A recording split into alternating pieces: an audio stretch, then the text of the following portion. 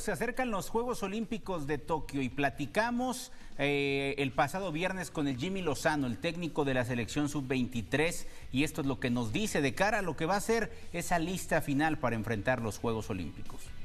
Un grupo duro, pero ¿cuál no lo es?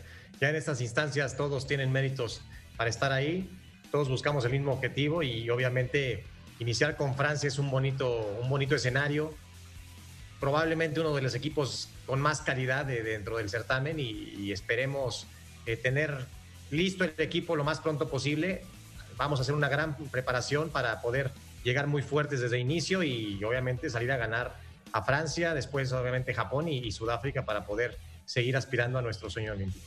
Más o menos claro, pero estamos viendo algunos jugadores o, prácticamente jugadores por cada, cada línea, desde la portería, línea defensiva, media y ofensiva entonces, estamos ahí en negociaciones con Gerardo Martino. Ellos también tienen un torneo importante, tienen que defender un título en la Copa Oro. Sí, ya se está hablando, ya Gerardo Torrado está hablando con los clubes.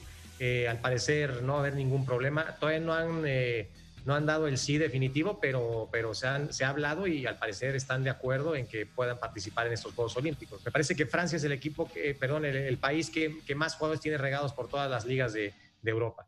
Después Japón eh, ha hecho una gran preparación, tendrá seguramente tres refuerzos que serán de lo mejor de la selección mayor. Y por último Sudáfrica, que también sin duda alguna por algo está también en Juegos Olímpicos, que siempre son rivales complicados, que han venido creciendo mucho a lo largo de los años.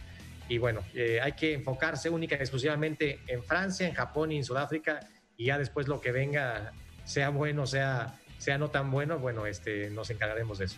Yo me veo eh, con la medalla de oro. Yo me veo así. Me he venido viendo así más de, hace más de un año. Eh, estamos trabajando muy fuerte para poder conseguirlo.